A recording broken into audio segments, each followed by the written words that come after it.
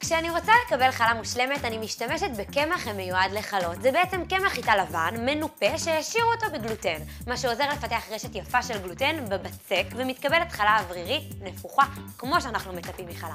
והריח, שמאס. והיום אני מכינה חלת סלק. ניחשתם נכון, לא סתם בחרתי בסלק, כי יוצאת ורודה. וורוד, כמו שאתם יודעים, זה החיים.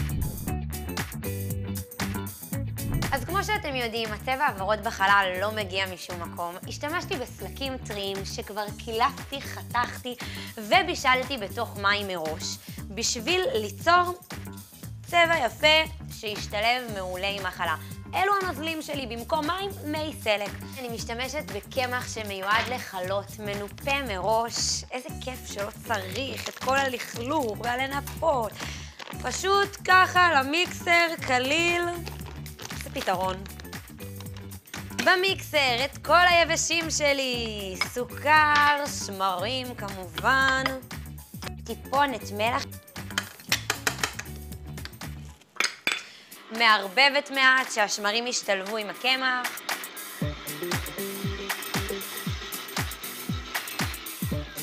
מוסיפה ביצה.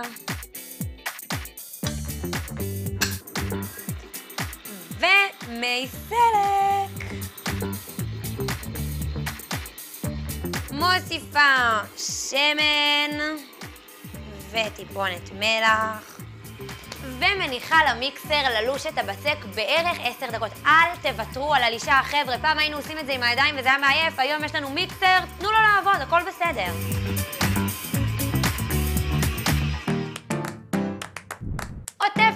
כל קערת המיקסר עם ניילון נצמד רחב כזה, שנחתך לי בקלות, ומכניסה מתחת לשמיכה. לכו לחדר, מתחת לפוך, שישב ככה שעתיים-שלוש, עד שהוא יראה לכם ענק. אחרי שהבצק ככה ישן מתחת לפוך נוצות שלי, יפה לי הריון חבר'ה, תראו איזה בטן יפה, עגולה. ועכשיו החלק האהוב עליי, לתת אגרוף, יאללה, תקשיבו, איזה בצק, איזה בצק. סבתא, את יכולה להיות גאה בי רגע? אני מסתפקת בחלב רדרדה. אם אתם רוצים לחזק את הוורוד, ממש תיצרו מחיץ סלק. תטחנו את הסלק טוב טוב ותוסיפו את כל הסלק אל תוך החלה, שיהיה פשוט חלה בטעם סלק. מקמחת טיפה את השיש ומתחילה ליצור שלושה נחשים יפים כאלה שייצרו לי צמא מהממת. קבלו שפיץ. אם אתם רוצים ליצור חלה ממש ממש מדויקת, תרדדו עם הארוך ורק אחר כך תגלגלו. מרדדת, מרדדת, מרדדת. אתם לא צריכים להשתטח על השיש ולהתלכלך מהקמח, מהבצק.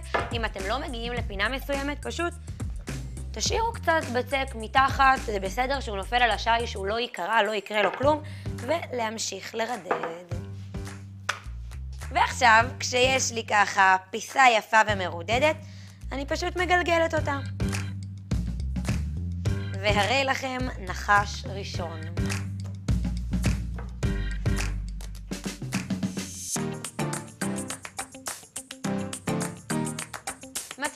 בלקלוע את החלה היפה שלי, מניחה את הטלפון.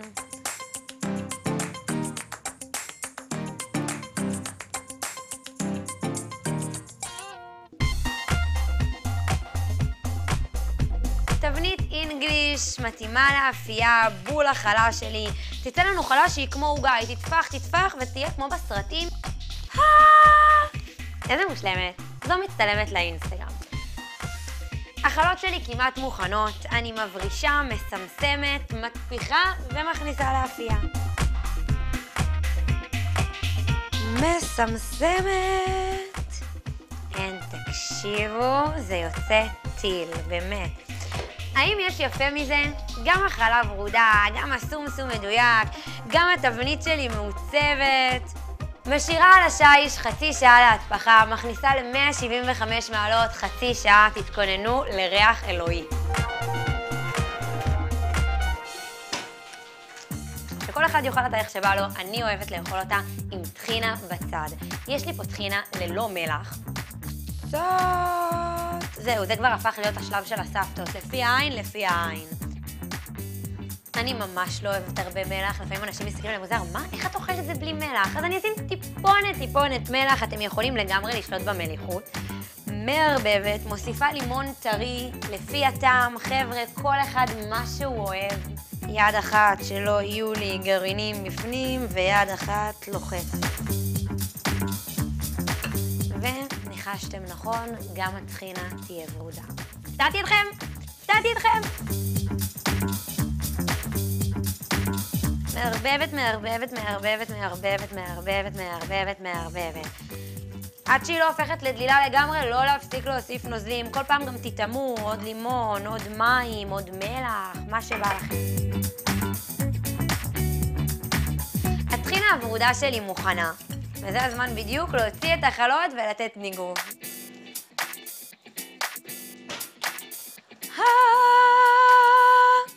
אם היה אפשר להעביר ריח דרך מצלמה, החיים שלי היו קשת בענן.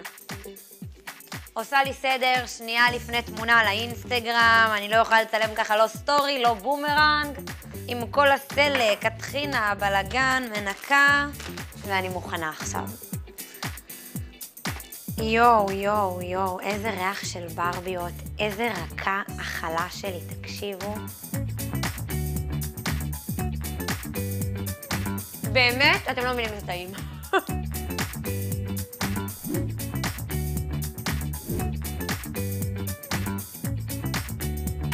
ערוץ האוכל